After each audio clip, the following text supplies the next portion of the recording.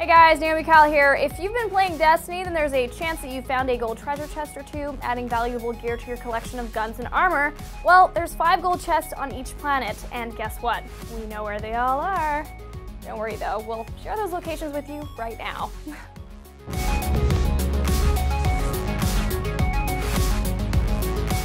First up, let's take a trip to Earth. The first gold treasure chest can be found between the Steeps and the Divide.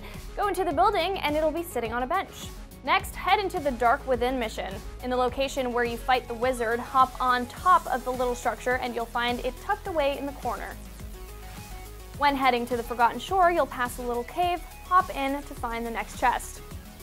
If you continue following this path to the left, you can find a little overlook. Jump down onto the cliffs below and you'll find another gold chest. The final chest can be grabbed during the Devil's Lair strike mission in the last room where you fight Sepiks Prime. Below where he initially appears, you'll find a chest tucked away by a pile of bones. Now let's head to the moon. I've heard wizards are from there. Hmm. The first can be found on your way to the Hellmouth.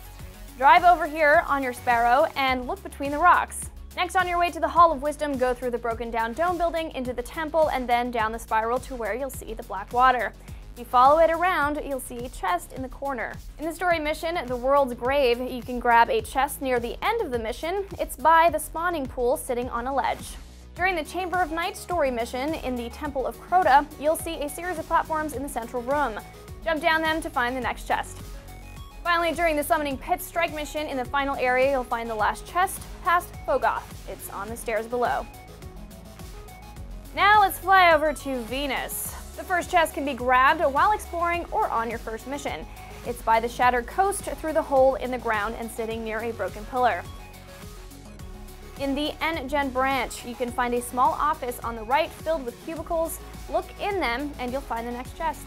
In the Campus 9 area, you'll see a large waterfall. In the bunker, the furthest away from it, on the other side, you'll find a chest tucked away in the corner. The last two can only be found during the Scourge of Winter mission. The first is located on top of some cliffs in the Winter's Lair area. The last chest can be found on the big ship near the end of the mission. Head to the bow of the ship and you'll find the last treasure chest.